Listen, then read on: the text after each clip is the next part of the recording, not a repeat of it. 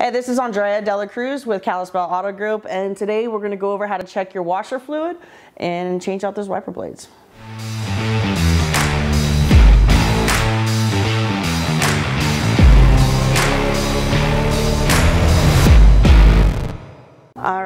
Some people like to know when do they need to replace their wipers. Um, my suggestion is usually I replace them every time it starts to rain every year. But if you're not like me and you wanna know when is a good time, when you use your wipers and if you can tell at all, you'll get streaks in the windshield where it's not a smooth, clean flow all the way across. This is usually when those blades are starting to dry out and it's about time to replace them. By the time your wipers are done going back and forth, you want to be able to have as clean as possible on that windshield where there's absolutely no streaks, no lines, nothing at all. And then once it comes completely clear, you know you're good to go.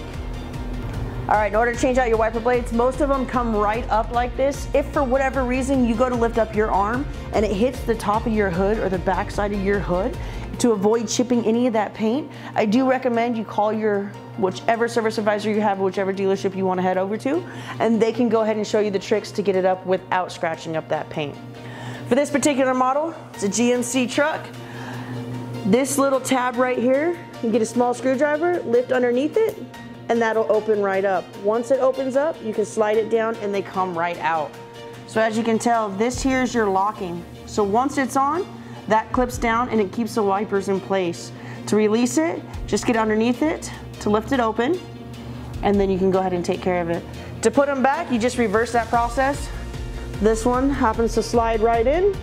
Once you're in, slide it up towards the top, all the way forward, and then you make sure that that's snapped down. Trick to it is always to hang on to this as you're lowering it. You don't want it to slam down, especially like this truck, if it's got a brand new windshield. Most of you have all seen that sign on your uh, dash when you start running out of wiper fluid. Looks like a little windshield, squirt coming straight up out of the middle of it. That is the same sign you're gonna look for underneath your vehicle. Some cars have a blue lid, some like this Chevy have a black lid, but all you gotta do is anytime you see that, go ahead and lift it open, and you're gonna pour your washer fluid right in there. Because we live in Montana, I'm gonna recommend that we don't use anything that will freeze. Most all auto parts stores and or your dealership will be able to get you some non-freezing uh, washer fluid there for you. All right, so when you go ahead and top it off, just make sure you use something similar to this, which is your 20 below. That way it's not gonna freeze on you in the wintertime. It's nothing worse than trying to use your wipers in the snow and uh, it doesn't work. All right, well, with that being said, y'all know how to, what that light means now on your dash when it starts flashing at you and saying washer low. You know what type or at least what kind of washer fluid you want to put up here for Montana. You know where to look in order to fill your washer reservoir and um, depending on your vehicle, you probably know how to go ahead and change out those wiper blades as well.